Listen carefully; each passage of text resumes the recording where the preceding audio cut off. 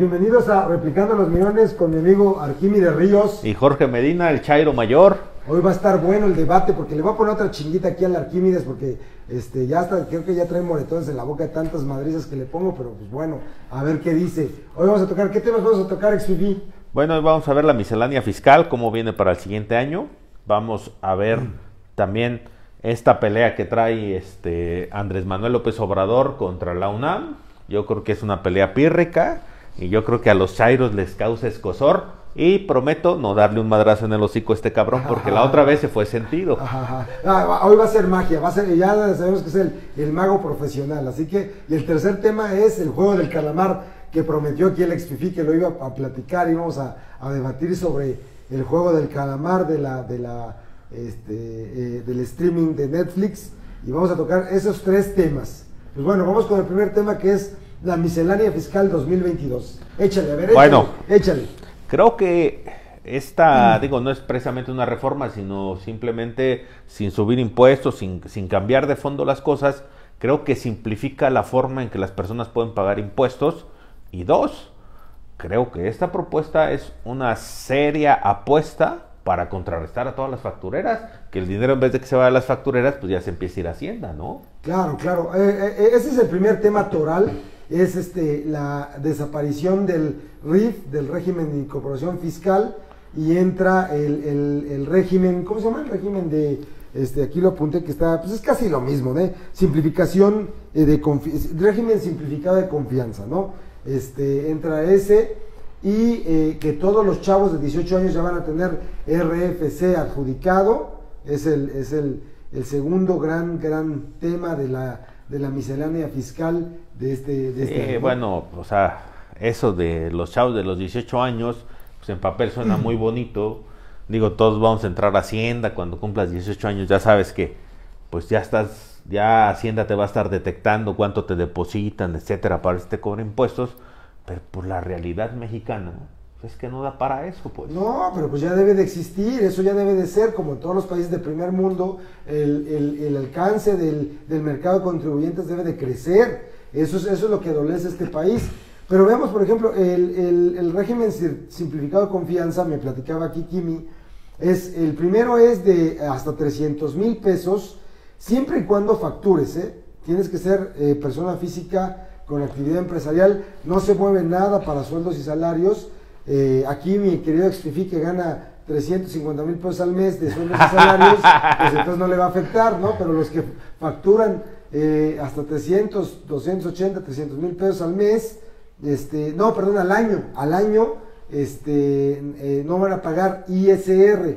Lo cual, es, lo cual es, una, buena noticia porque pues quien factura tampoco al año le quitan una carga fiscal, pero lo más importante, o sea, también le quitan una carga en sus procesos de rendirle cuentas a Hacienda. Sí, el segundo que platicábamos es el, la segunda etapa del régimen simplificado de confianza, es las personas que ganan hasta 3.5 millones de pesos, que eso está súper.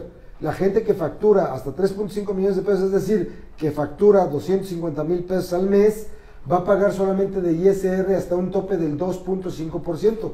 La verdad es que es un hitazo, hasta parece una ley FIFI, Parece una ley FIFI porque no está, no está cobrando impuestos a la, del, ISR, ¿no? Ya no tiene que calcular el ISR sobre sus utilidades, solamente el 2.5. Sobre sus ingresos. y creo, eh, sobre sus ingresos, bueno, no, porque este, eh, estábamos viendo en la, en la ley anterior, si pagabas un impuesto sobre tus utilidades, hasta el 30% de, de ISR.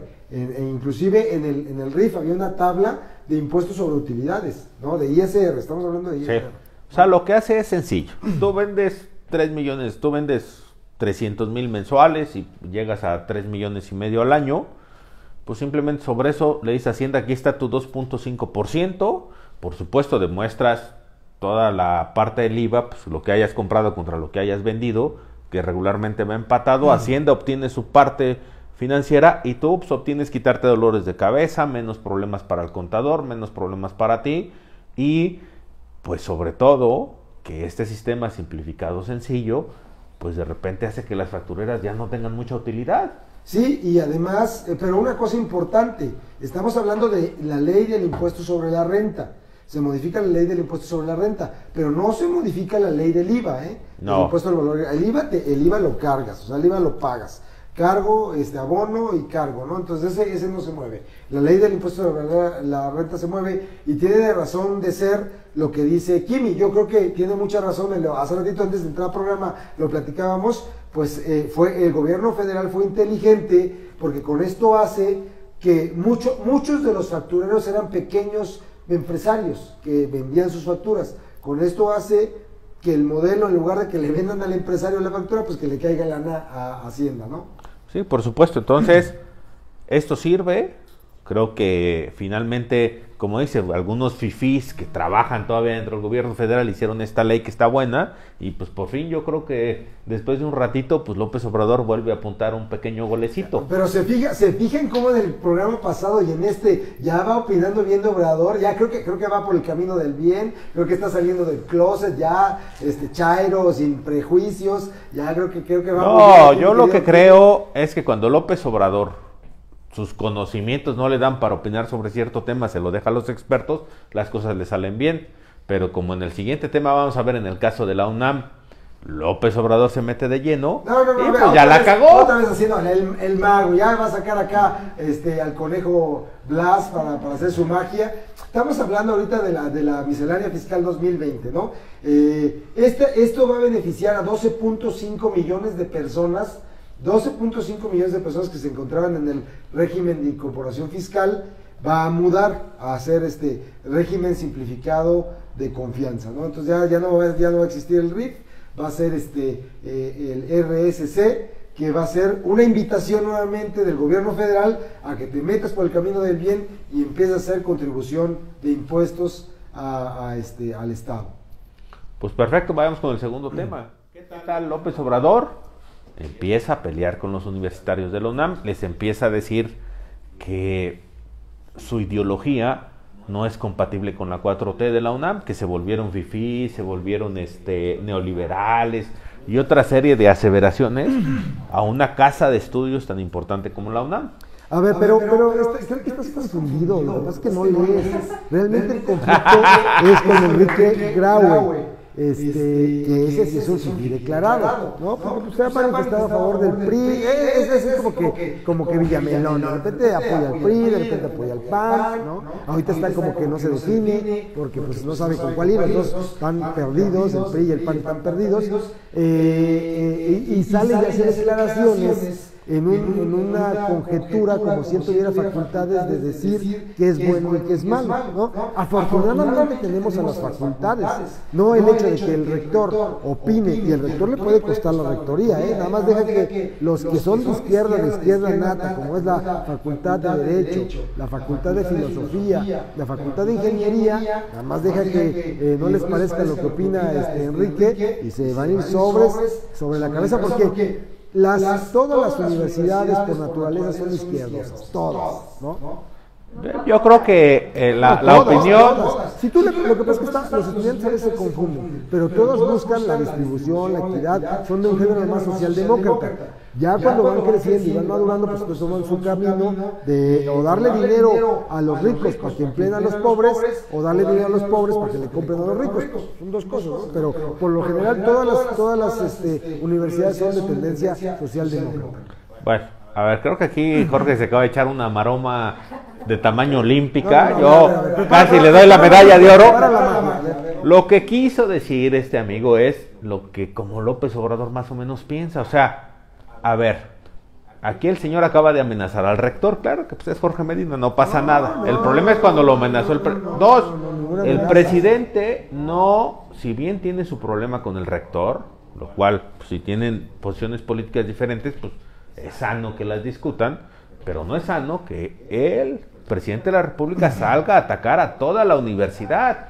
Además, la, la Universidad Autónoma de México, finalmente su educación está basada en la libertad de cátedra, donde pues todos los pensamientos... No, pero a ver, no lo dijo en una cátedra, lo dijo Enrique Grauner, lo declaró, que estaba mal lo que estaba haciendo López Obrador, que la división, que no sé qué. O sea, hace juicios no en tenor de cátedra, hace juicios políticos. Ese fue el problema.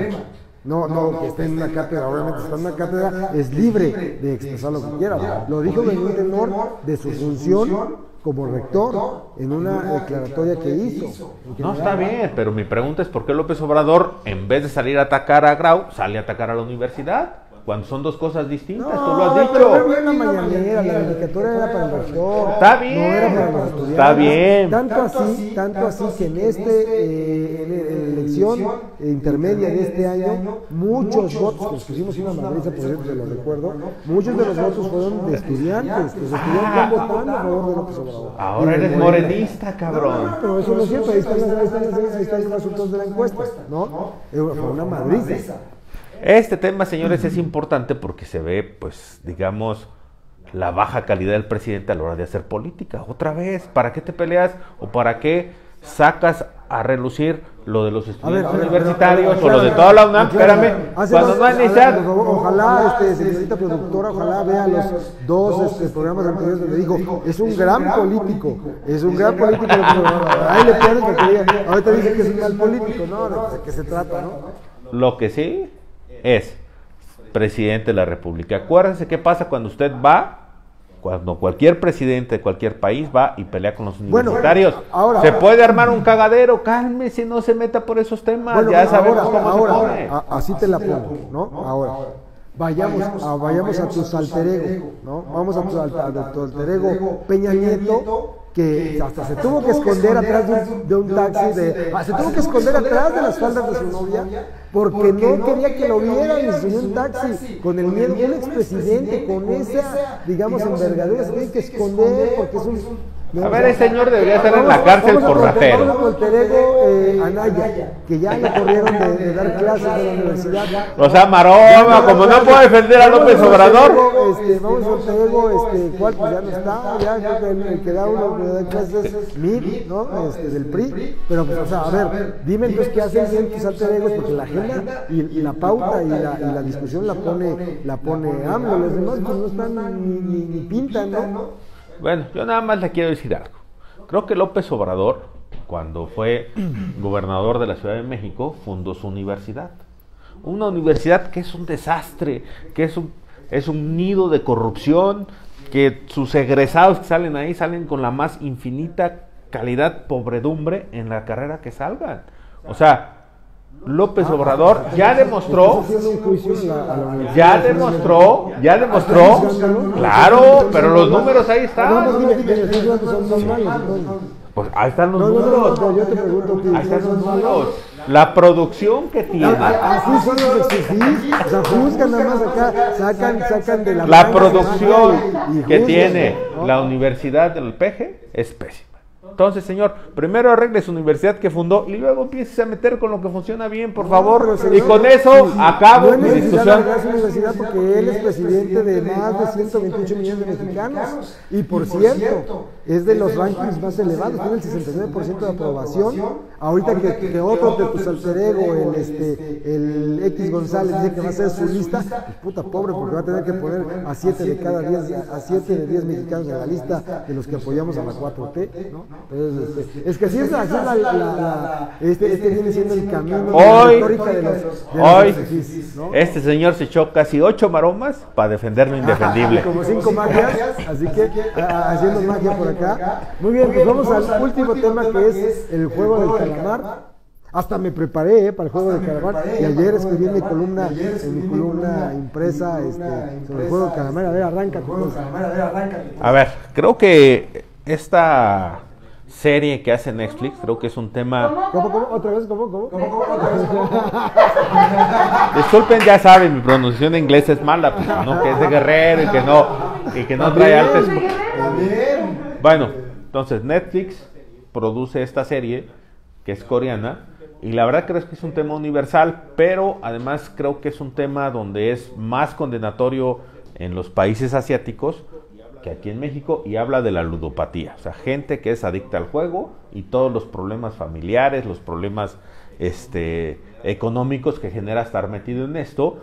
Y es una serie que es punitiva hacia todas esas personas Sí, que claro. eh, Sí, por claro, ejemplo, yo, eh, yo la verdad es que yo la la quería verdad ver, es que la verdad es que eh, la quería pasaba, ver, pero hubo tanto. influ- Yo creo que fuimos tanto víctimas yo creo que fuimos de una víctimas campaña de una mediática para campaña verla, ¿no? mediática Porque hubo para verla, muchísima, ¿no? Porque hubo este, muchísima, artículos, este, eh, artículos, este, memes, este, pro- este, publicidad. Dios, la mañanera tiene más Este, publicidad y nadie la ve, güey, por Dios. La veo, la, la, este, que, que queremos estar informados. La veo. Nunca la ve. espérate, espérate, déjame.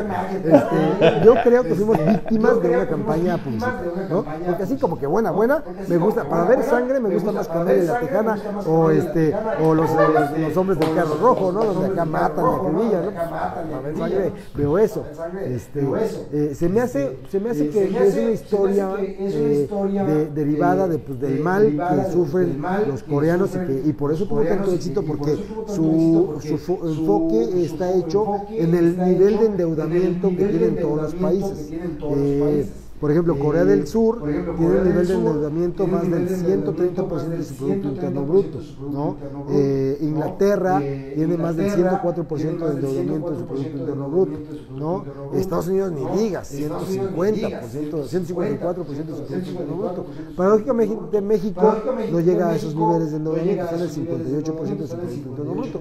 Pero bueno, les hace clic porque la sociedad consumista y, y de, y de- y de adicción a la deuda, pues este, eh, eh, hace mucho sentido y genera anclaje este tema. Genera anclaje este tema, ¿no? Sí, aunque Jorge lo lleva como al macro país, creo que finalmente es un problema que tiene toda la sociedad, la gente que es adicta al juego. ¿Y Pero no cómo? nada más hay adictos al juego, Cuando- ¿no? Cuando- está espérame. el inversionista que perdió toda su lana, está este, los rateros, ¿no? el mafioso, pues no nada más es ludopatía. No, pero no, pero el mafioso y todos los demás eran, por ejemplo, el mafioso debía de unos casinos. O sea, todos eran adictos al Bueno, juego. puede ser, porque Bueno, el, el puede ser, inversionista, porque el- el inversionista, el que se supone que era como ejemplo, También. como que jugó en la También. bolsa, ¿no? como que jugó en la bolsa. Pero jugó en la bolsa, o sea, era adicto al juego, o sea, a querer ganar dinero con una apuesta Bueno, pero fácil. es que Todos somos Bueno, pero es Espérame. todos Todos queremos ganar dinero, ¿no? Todos No, ganar dinero. no, sí, pero me refiero a que finalmente un ludópata que no sabe controlar sus emociones frente a las apuestas y que finalmente, a diferencia de un empresario que analiza su riesgo, apuestan, pierden y dañan mucho a la familia y cómo esta serie se vuelve punitiva contra este, eh, contra todas estas personas que de alguna forma son parias sociales.